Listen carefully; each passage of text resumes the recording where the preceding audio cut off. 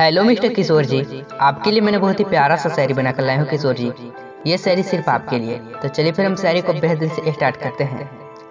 किसी की राह में आँखें बिछाकर कुछ नहीं मिलता किशोर जी। किसी की राह में आँखें बिछाकर कुछ नहीं मिलता।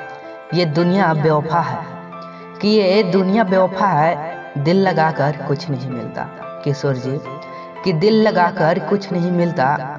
कोई भी लौट कर फिर आता नहीं आँसू बहाने से।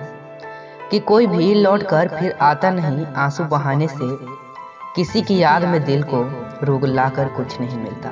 किशोर जी किसी की याद में दिल को रुलाकर कुछ नहीं मिलता।